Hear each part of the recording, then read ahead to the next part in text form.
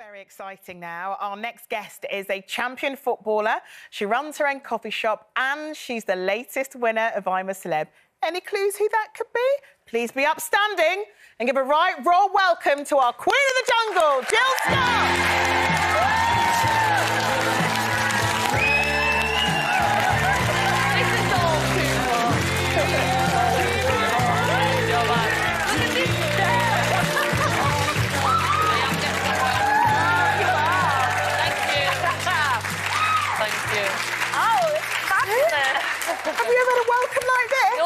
Haven't at all, honestly. it, all, seems a bit surreal. I was like, I just missed November of my life, went and lived in a jungle, obviously with you, Charlene, and then, yeah, it's just been crazy. Yeah, so what has life been like since you got out? Uh, it's been a bit mad. I think the day I got back, I went and bought some advent calendars and a bag of frozen chips, and it was in the paper. so I was like, okay, this is a great story. So, yeah, there's been a lot of people watch the show. I don't think you realise how many people Yeah. actually watch it, but really nice, like coming up saying well done. Um, yeah. And you were on billboards as well, weren't you? Oh. We, we were talking about that, weren't we, in Australia? That someone had texted you and said that they'd had billboards with your face up because so many people back home were supporting you. Yeah, I think the people of Sunderland, I think there was a message on the motorway, so hopefully it didn't distract people from driving. But um, yeah, the support's been so good. Like, I actually just, I, I can't believe it all, to be honest, but Really? it was a great, um, just such a good journey, really. We had fun. We did have fun, we did. And what a lot of people won't realise is I was plaiting your hair through a lot of it, Yeah, it? yeah. So when you left, um, my mum said actually when I got back, she went, when Charlene left and Scarlette, your hair went terrible. I was like, you can always count on Yeah, you can. Just to bring you back to Always, Yeah. always. And what was lovely is um, is Shelley, your fiance, is in the audience today. And Shelley and I got really close because, of course, I came out early, so we like spent a week together. I have to say, I can't go shopping with Shelley again. I'll literally have no money left.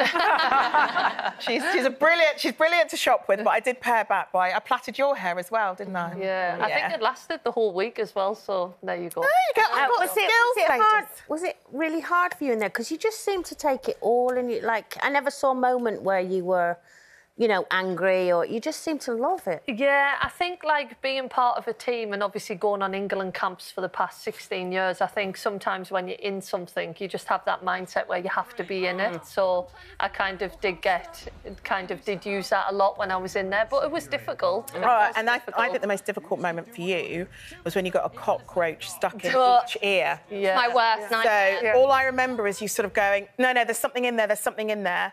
And then they tried for ages to get it out. Yeah. Chris ran over to hold your hand because we were all really panicked for you.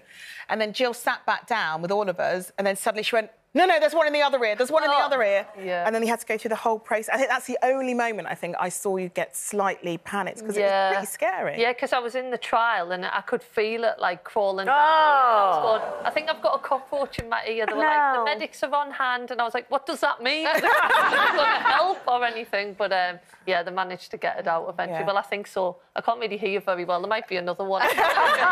They won't let you put anything in your ears, will they? No. Like, it really stresses. That really stressed me out. I Yeah. don't like that. Mm. Now, I've got to ask you, Matt Hancock. Oh. In the papers today, it says that he's left the WhatsApp group. I Oh, can't really? prize it out of Charlene. So I'm asking, have you been in contact with Matt? Um, I actually haven't since the show, but um, I think everybody, like my knowledge of politics isn't actually that good. So once we got into the jungle, everyone puts the jungle outfits Yeah. on. It was just like, look, we're one team. Yeah. He was going and getting the stars. He was feeding us. So I, I was, I was Yeah, happy, happy really. with that, yeah. But Yeah. Um, yeah, I haven't had a message off him yet. So that's, that's the truth. Maybe he'll be sending you a copy of his book. Oh yeah, he's got a book out, maybe. hasn't he? Yeah. He mentioned that. I don't think he mentioned Or maybe it's because you're a winner and he's a loser.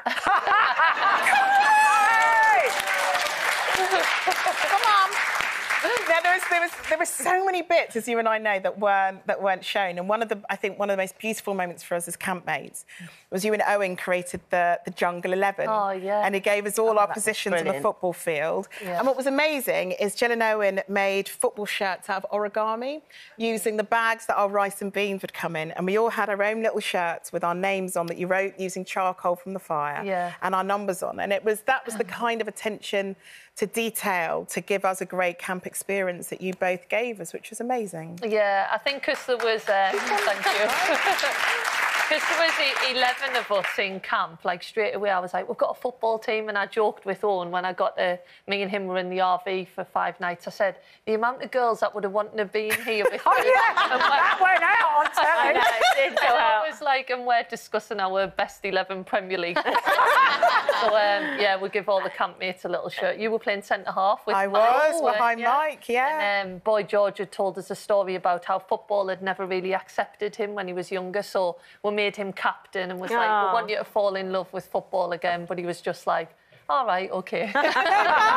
In our um, WhatsApp group, he did say he did watch the game the other night, Yeah, he didn't he? did, yeah, he did. that was inspired by you. he did. So he loves football again. There was there was one moment in there that caught all of our attention. Should we have a look at that one? Oh, let's have a look. All you have to do, you just um, tell Charlene when the loose women's on that you have to turn it off because you can't stand the moaning. One time I was watching Loose Women and the topics were like so depressing and I just felt like everyone was mourning. I think they need to pick the, the positive people. she is not taking me up on this one bit, and rightfully so as well. Are you offended that one episode I might have switched over if it was I a am bit offended. negative? Mm. I feel I feel terrible. Can I make you a cup of tea as a as a sorry? I felt terrible. It was so funny because you struggled so much to get the words out, and I was like, "Oh, Oh. that's fine. You're a nasty." And then they called us into the like Bush Telegraph and said, right, uh, you have to tell her again. So I had to tell her twice. And one one thing in sport is like you have to be able to have difficult conversations, and it's one thing I've never been too good at because I do like people to be happy Yeah. and keep people happy, and I hated that moment. Were you were you offended? Because at one point you went, ah. no, because it, was- it- no, 'cause it was the second time she'd done it, and I was thinking, it's a bit weird. all right, made right. your It was like twice in 20 minutes she was telling me how much she didn't like this episode Loose Women. I was like, all right. She did my hair later that day and was like, Now, I don't know about you, but the one thing that loads of people have spoken to me about is us being on that ledge, and people always Oh, ask wow. how on earth you mm. managed it. Heights you are so afraid of. Yeah. How on earth, with such speed, did you get to Oh. the end? You were amazing. You were amazing. And I think you were stuck for ages. And Babatunde tried to go. And I was like, if I don't go, what is going to happen to Charlene? so I think it just went into like sport mindset of just going to help kind of a teammate and yeah, managed to do it. But I did speak about that. I said, like sport for kids is so good because it's not about playing at the highest level, but just like learning to have that mindset, Yeah. winning, losing, like Yeah. the amount of things it helps you with for life in general. I just think like there was times in the jungle I had to revert kind of back to that. Yeah. Mm-hmm. So, I've got to ask you, I know Prince William is a big fan of yours, isn't he?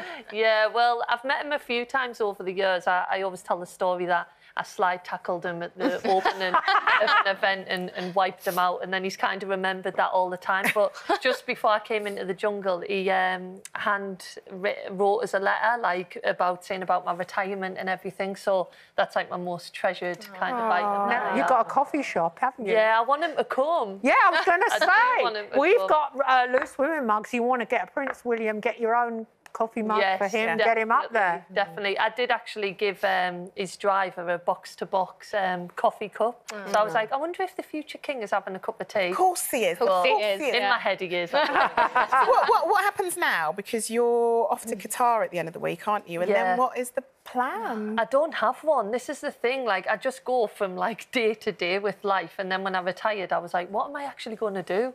Um, so if they, if you can keep this seat, for Yeah, it, I'll definitely. Oh, come and join especially for you. we'll have you on any time. 'cause Yeah. Your sister's a Yeah. massive fan, isn't she? Yeah, she? massive fan, and I know they'll be watching now. She gets into London at two o'clock, so she's just missed it. So ah. I'll definitely have to come back and, Yeah. and bring out of the You audience. definitely have to come back. Ladies and gentlemen, can we give our Queen of the Jungle a massive applause?